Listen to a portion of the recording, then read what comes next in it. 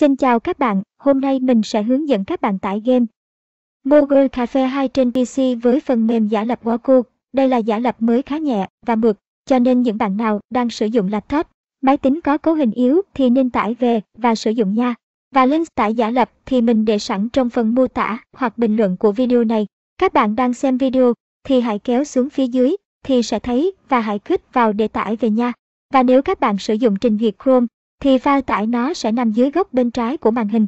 Thì bạn hãy click chuột vào thì nó sẽ hiện lên một cái bảng và bạn hãy nhấn vào nút cài đặt ở giữa để cài giả lập lên máy tính.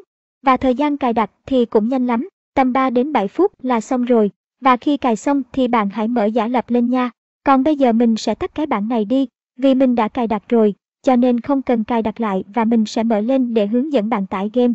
Khi mở lên thì bạn sẽ thấy nó có giao diện như thế này, thì lúc này bạn hãy nhấn vào ô tìm kiếm này và gõ tên game. Sau đó hãy nhấn Enter.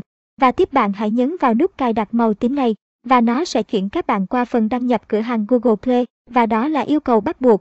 Chính vì thế bạn hãy sử dụng tài khoản Gmail Google để đăng nhập vào nha. Đăng nhập xong bạn sẽ được chuyển sang phần tải game. Thì lúc này bạn hãy nhấn vào nút cài đặt màu xanh để tải game về.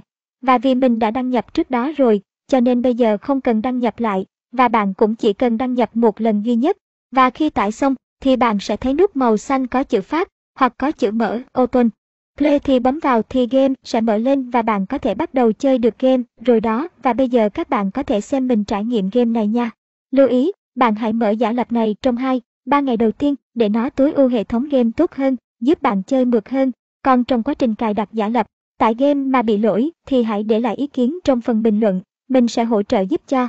Chúc các bạn chơi game vui vẻ.